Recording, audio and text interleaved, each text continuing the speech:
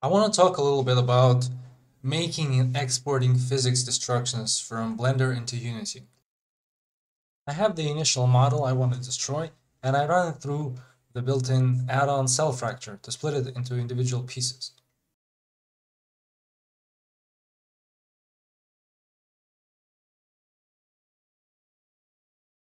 What happened?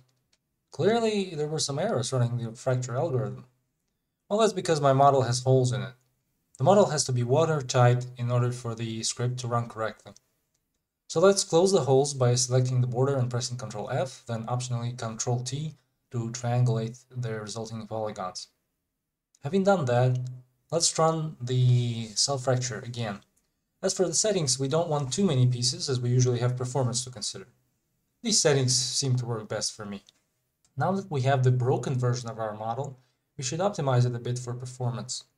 Add a decimate modifier on one of the pieces, dragging the ratio slider until there is a good middle ground between fidelity and poly count. Then, while having the rest of the pieces selected, go Ctrl L, copy modifiers, to propagate the decimate modifier to the remaining pieces. You can also run a quick merge vertices operation to get rid of double vertices and unnecessary geometry. Next, we add rigid body physics to the pieces by selecting them and going Object, Rigid Body, Add Active. Let's also change some physics settings so the pieces don't go flying off into space.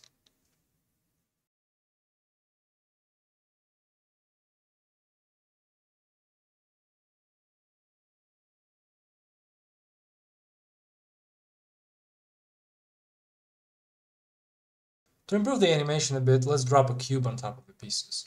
After that, we bake the animation to keyframes, default hotkey F3, and start typing bake into. We set the sampling to 3 or 4 so the animation is lighter and more easily editable. So we've arrived at a result that uh, we're reasonably happy with. However, not all the pieces animate exactly the way that is planned. But instead of redoing the physics simulation over and over again, I'll just hand animate the one piece it's quicker this way. After the animation is completed, the next task is to export it as FBX into Unity. The problem is that each piece has its own animation track, so if we were to go with default settings, they would all be animated separately. Instead of the export settings, we can check bake animation, but uncheck everything else. This way we make sure that everything we have selected will export as a single scene animation. The animation name will be taken from the scene name, so in this case main. Test the imported file in Unity and everything looks correct.